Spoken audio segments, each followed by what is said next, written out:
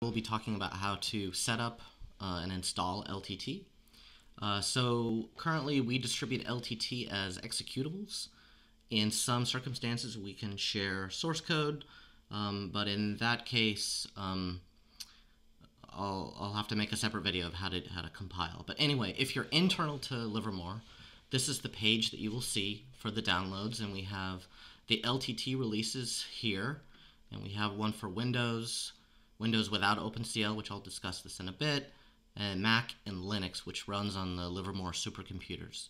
Separately, you download the GUI, which are here, and we also have executables for Windows, Mac, and Linux.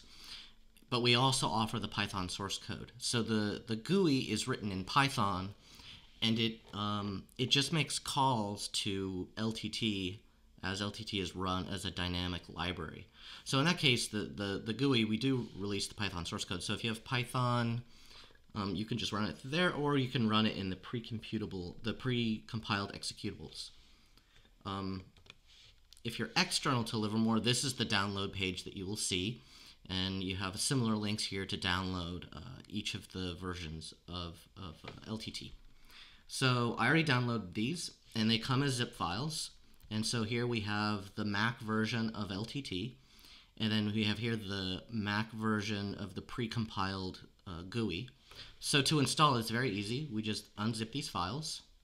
So just double click them, and there's LTT. And then now here's unzipping the GUI. And to make the GUI work, what you have to do is move the folder of the GUI inside the normal LTT folder. So I'll just click and drag this into here. And now here is the folder with the contents. So um, what you see here is here's the icon for LTT in case you want to put that in. Um, here's the ImageJ plugins. So ImageJ is an image viewer. And um, if you don't want to use the GUI, you can use these ImageJ plugins to do all your displaying of images. Uh, you basically just make calls to this directly from LTT.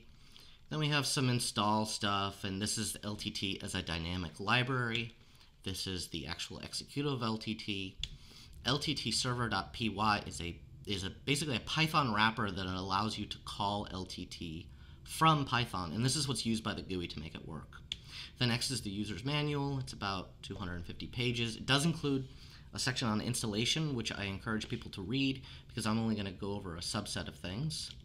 The next, this is the GUI, which I moved this folder inside here. Then we have some MATLAB utilities. So LTT can be run from Python or MATLAB. And here's the stuff to make the MATLAB work. In the miscellaneous folder, all we have right now is the um, uh, is a jar file that allows you to uh, to take ALS H files and and um, and unpack them so that you can read them in LTT. This is just a notice document, it's legal stuff. This is the Python binding stuff. And then there's a few sample scripts and, and sample um, uh, phantoms. So anyway, let's set up LTT. And the reason why they're set up is there are a few default settings that you really should set uh, before running it. So to run LTT, we'll double click it. And if you're on Mac, you will probably see this. It says LTT can't be opened because it is from an unidentified developer. So we, we haven't quite identified ourselves to Apple yet. So the way you do this is you just override it. There's no problem with this. Um, so what you do is you, you hold down the command key while clicking.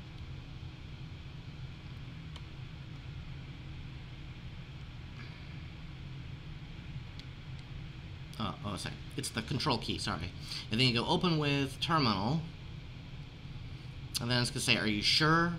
And then I just say open and then it launches LTT. So I'm going to go ahead and exit this, but from now on, when you double click LTT, it'll it, it's it's recorded as being safe, so you can launch it. So anyway, here we are. We're we're inside LTT, and the first thing I'm going to do, as it's suggesting here. warning, please run the setup, is I'll type, type setup, and it's going to go through a few questions. And at first it's going to say, okay, you're, you're going to follow a few prompts, and it's going to make a file called lttdefaults.cfg that contain your defaults. I want to continue, yes. The first question is, um, how much memory, how much CPU memory will you allow LTT to use? So this is important. So if you choose a number too large, you run the risk of LTT crashing because what happens is if you say, oh, LTT can use all of the RAM in my computer, well, it will try to use all the RAM, so, um, you know, your operating system and other things need RAM, so it could crash. But if you choose a number too small, then LTT may force you to write the result from every algorithm to disk. And writing more results to disk will slow things down, so you want to set it to some moderate level. So here, all this text is basically saying that and it's reminding you your system has 16 gigabytes of RAM. So I'm going to say LTT can use 12 gigabytes. Press enter. The next thing it's saying is um, LTT um, you know, can use ImageJ to display images, but LTT needs to know where ImageJ is. So this is optional. If you want to skip this, just press enter and go through it. But mine is in applications and ImageJ. So I'll press enter. And by the way, if you entered something that wasn't right and you pressed enter, it would say, I didn't find it. Try again. Anyway, the next one says, um, where is LTTW? So LTTW means LTT workflow, that's the GUI. Um, and you would just put the GUI path here. And the reason for that is if you're in the console application version of LTT, you can actually launch the GUI from the console app uh, to display images. For now, I'm just going to skip that. Um, and I don't want to try again. Um, but you would just type in the path there. And then now it's asking, do I want, okay, so LTT writes things in either SDT or TIFF file formats. And those are the only two formats that are kind of standard. It supports a few others, but that's mostly them. So it's saying, do you want to force LTT to write out a certain type? So I'm going to say yes, and I'm going to say TIFF, T-I-F. So, S, by the way, you know, TIFF is a standard format. SDT is an internal Livermore format. I prefer the TIFF because everyone can read them, so I'll put TIFF. The next, it's saying, do you want to use the GPU? So the GPU algorithms in LTT make things run much, much faster than CPU and LTT can use one or more uh, GPUs to speed things up. So I'm going to say yes, and then it's going to spit out all the information that, that it found on my computer. So it first it found my CPU, which is fine, and then next it found two GPUs. The first one is um, an Intel uh, graphics card that's on the CPU.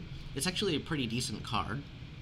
The next one it found was the AMD Radeon Pro, um, now, if I wanted to do both, I could say 1 comma 2, because I want GPU 1 and GPU 2. Now, LTT can use many GPUs, but it performs the best if both the GPUs are approximately equivalent in their performance. Um, if they're not exactly um, matched, it's still good to use both, but if there's a big disparity in the in the, basically the computational power, there are some cases where you don't want to use the really weak card. So that's actually the case here. So I'm just going to say I want GPU 2, and I'll press enter. Now it looks at that GPU and says, okay, that GPU can handle up to a gigabyte of RAM. How much RAM will you allow to use? I usually just do the maximum here. Um, so I'm going to say one gigabyte. And now we're done. So if we go into the folder here, we will see that it made lttdefaults.cfg.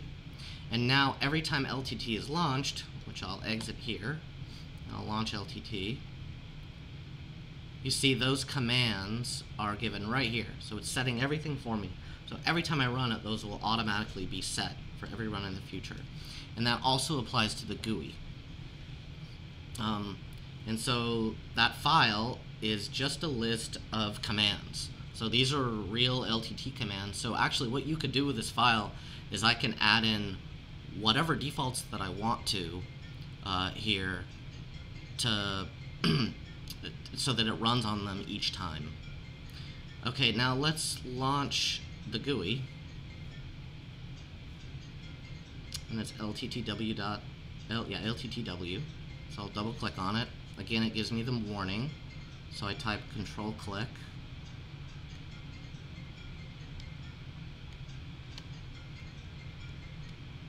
Oh, is working. Oh, it has to be over the text.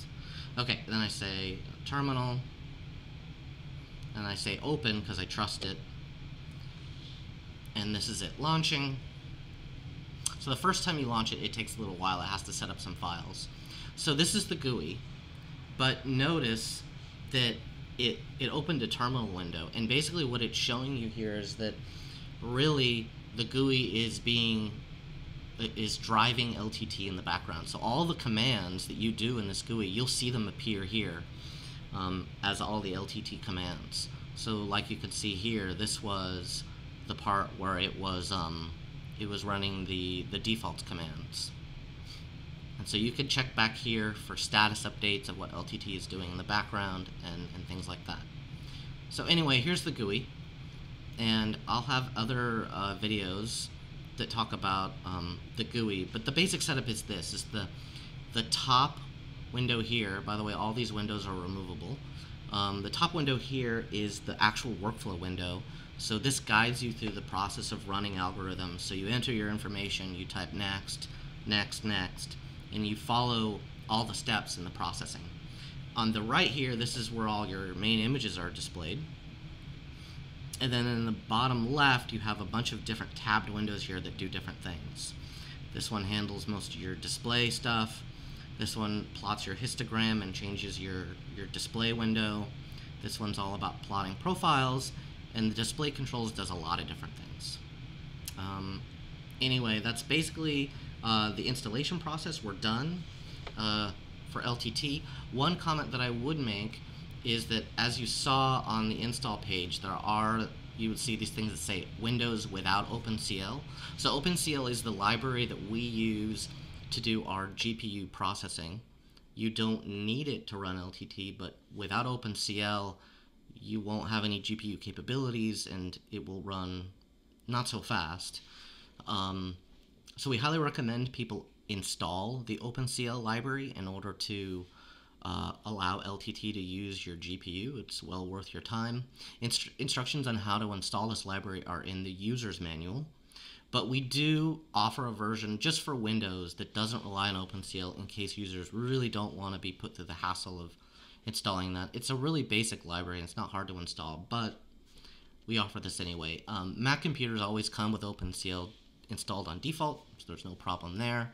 And then um, Linux, you they aren't part of the standard distribution. They are the standard distribution on LC, so on LC you don't have to worry, it's already there. Um, but that's it. So LTT, like I said, it's just a couple double clicks and you're in, and you may or may not have to install OpenCL, but um, otherwise it's pretty easy.